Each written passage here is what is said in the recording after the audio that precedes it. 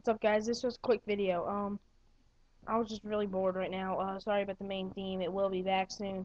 I just forgot it on the last video, and this one I didn't feel like making it. Um, this is a video just saying, real quick. Uh, LeBron James now on the Heat. Figured that out last night.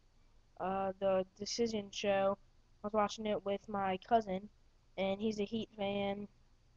Um, I am a Thunder fan. Just let you know. I was just kind of bored, so I randomly selected a team. Um, but yeah, just saying LeBron James on the Heat with D Wade and Chris Bosh. Mm, it'll be interesting to see what happens. He doesn't want him on the Heat. He kind of wants him, but not really. I'm talking about my cousin, Heat fan. Um, you may have seen him in some videos. It's crazy. Yeah, just a quick video. LeBron James on Heat. That's it. Peace out.